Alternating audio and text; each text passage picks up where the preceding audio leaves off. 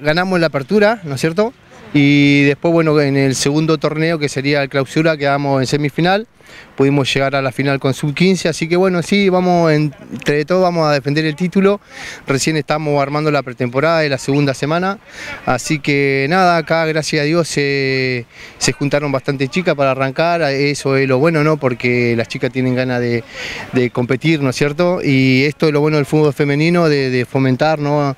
la actividad, y bueno, este, gracias a todas las chicas que han venido hoy, vamos, vamos a arrancar a entrenar y estamos con el profe acá justamente trabajando. Hay mucha convocatoria de chicas nuevas y vamos a armar eh, un equipo nuevo porque se ha desarmado mucho el equipo, y, pero vamos a volver a pelear el campeonato otra vez. Dentro de todo estoy entrenando para volver más firme y de central juego yo, de dos. Hicieron un torneo de penales hace poquito, cómo se pudo hacer, cómo estuvo, fue, se va a volver a repetir, hay otra convocatoria para, poder ayudar a lo que es eh, el plantel del femenino de la Peña. Sí, tenemos pensado volver a hacerlo, no, la primera vez no tuvimos mucha convocatoria por el, el superclásico también y aparte están jugando las barriales, la Copa de Campeones, así que no tuvimos mucho.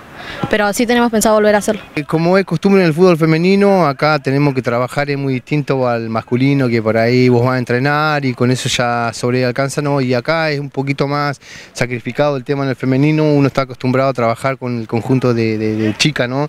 Que ellas sí están siempre predispuestas a hacer... Eh, venta de empanada, de número, lo que sea, para tratar de juntar fondos. Y bueno, también colaborar con el club, este, y nada, siempre estamos haciendo alguna venta, eh, algún sorteo, ¿viste? Y bueno, también tenemos que agradecer al club, al presidente que siempre nos banca, a la comisión que muchas veces nos ha pagado el arbitraje, que hoy por hoy está repicante el arbitraje de la liga, así que agradecerle a ellos también. Gracias a todo ese conjunto de cosas pudimos, va, podemos competir.